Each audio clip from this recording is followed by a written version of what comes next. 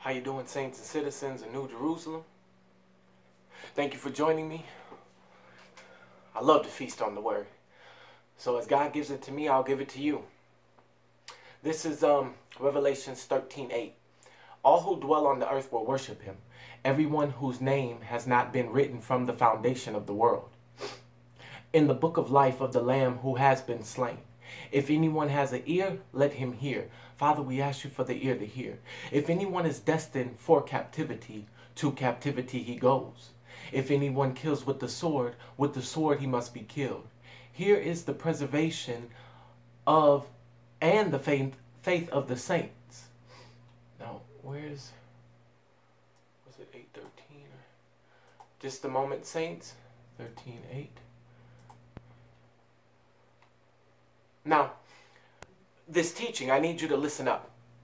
So, throughout the course of my life, when I would sin, I would say, uh, well, the blood of Jesus washes me clean. The blood of Jesus washes me clean. This would go for anything that I uh, did or thought about doing. Well, then God said, uh, the, the lamb was slain before the foundation of the world. So instead of instead of putting your sin or your addiction or your hurt or your pain under the blood after, put your sin, your addiction, your pain, your hurt under the blood before. If you put it under the be- blood before, it washes the desire away, it washes the hurt away, it washes any type of effect that sin may have on your soul.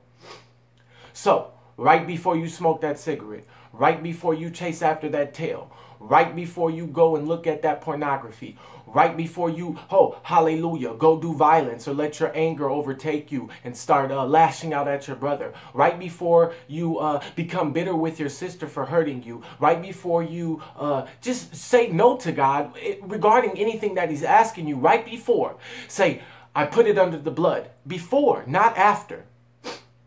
Thank you, Father, for this revelation.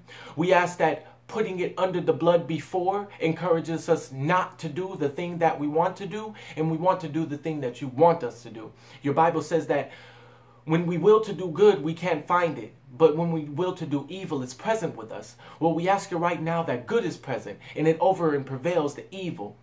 Oh, hallelujah. We worship your name. Father, I thank you for the saints and citizens of New Jerusalem. I ask that everything that you give me, they get something out of it. This is the bride. This is your beautiful and wonderful and matchless bride we're talking about. She is spotless. She is holy. She is preserved until the return. And we thank you right now. You're preparing a place for her. Hallelujah. Be encouraged, saints and citizens of New Jerusalem. I'll see you soon. I love you very much.